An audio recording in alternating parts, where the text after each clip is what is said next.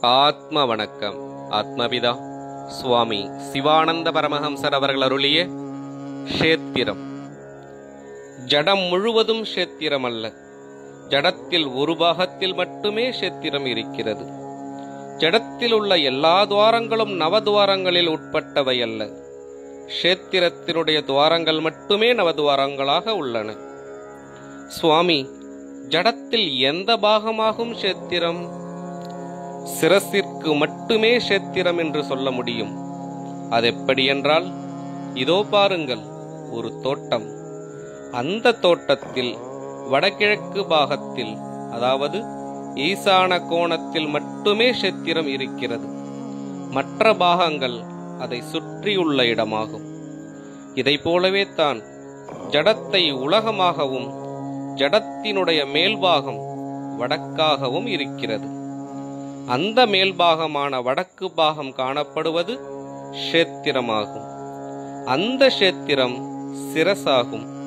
அந்த சிரசில்தான் நவதுவாரங்கள் இருக்கின்றன. சுவாமி எப்படியாகும் சிரசில் மட்டும் நவதுவாரங்கள் உண்டாகி இருக்கின்றன? நவதுவாரங்கள் என்று சொல்லுவது எவை எவை என்றாகும் நீர் கருதி இருக்கின்றீர்.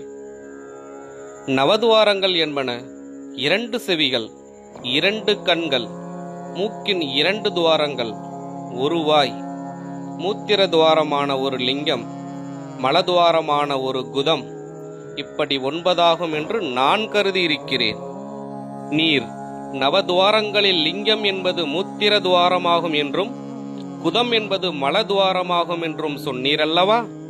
இந்த இரண்டு துவாரங்களும் சிரசில் இருந்து வேறாகி ஜடத்தினுடைய மிகவும் கீழ்பாகத்திலாகும் இருக்கின்றன.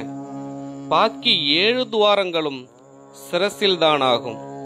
நவதுவாரங்களில் இரண்டு துவாரங்கள் மட்டுமே சிரசில் இருந்து வேறாகி ஜடத்தினுடைய கீழ்பாகத்திலும் மற்ற ஏழு துவாரங்கள் சிரசில்தானேயும் வருவதற்கிடமில்லை. ஏனென்றால் லிங்கம் என்பது மிகவும் சிரேஷ்டமாய் உள்ளதாகும். அது நீர் மூத்திர துவாரமாக கருதியிருக்கிறது. மிகவும் தப்பிதமாகும்.